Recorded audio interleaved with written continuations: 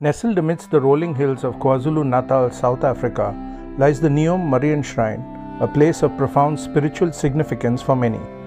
This shrine, dedicated to the Blessed Virgin Mary, has become a beacon of faith, attracting not only South Africans but also pilgrims from across the globe.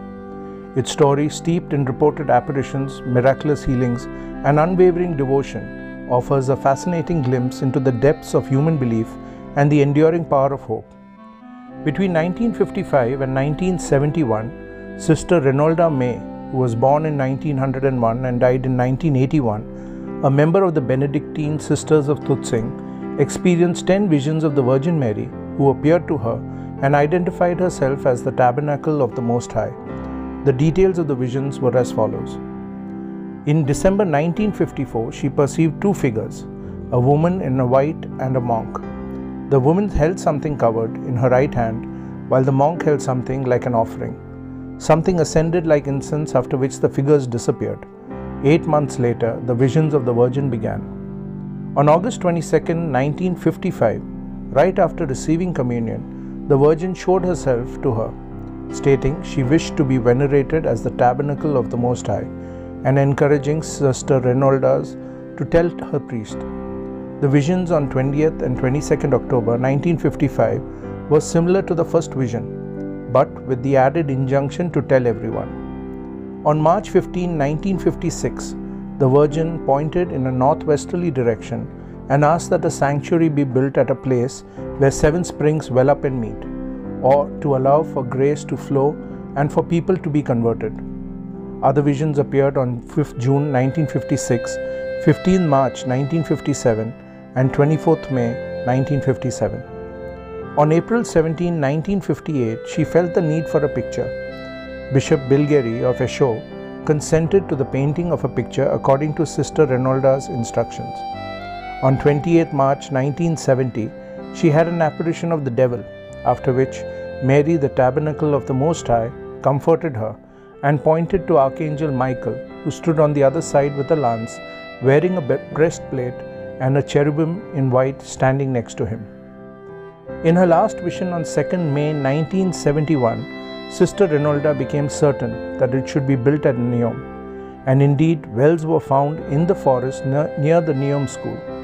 A chapel was built, and as it happened, the site also a place held sacred by the local Zulu population. It was consecrated at the Pentecost in 1966 the picture of Our Lady of the Tabernacle of the Most High was placed in the chapel. Pilgrimage to the site began in March 1966, and in spite of sharing her vision with other priests, the pilgrimages were stopped by Bishop Bilgeri.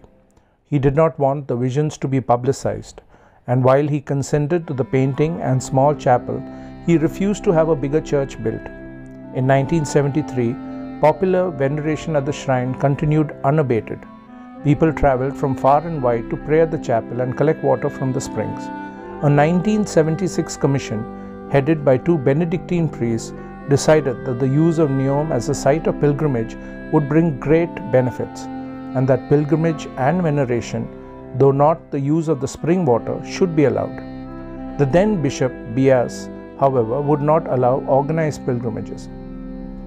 Sister Renolda died in 1981 and in 1984 a new church was built at the site. It was dedicated to the Virgin Mary without any specific or additional titles. In 1988, the Ngome Shrine Committee was formed from priests of the diocese. By that time, Bishop Biyase was wavering, saying he could not and would not suppress the veneration. In 1989, the committee published a booklet and postcards featuring the shrine, increasing its role in the local church. Finally, in 1992, Bishop Biyase blessed an open altar, part of a bigger chapel that replaced the little shrine and allowed for the Marian shrine to be designated as a place of prayer so that organized pilgrimages were now actively promoted.